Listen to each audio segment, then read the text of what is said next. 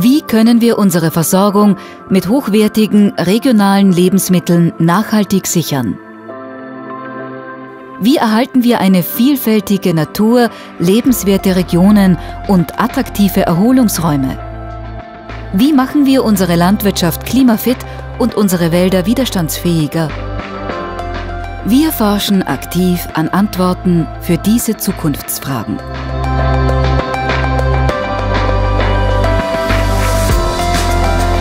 Unsere neun forschungsaktiven Dienststellen, zwei ausgegliederte Einrichtungen und zahlreiche Partner ermöglichen ein breites Forschungsspektrum. Unsere Forschung basiert auf drei Säulen. Die Forschungseinrichtungen des Ressorts, Forschungsaufträge an externe Projektwerberinnen und die Mitwirkung an europäischen und nationalen Forschungsprogrammen. Wissen ist unsere wichtigste Ressource.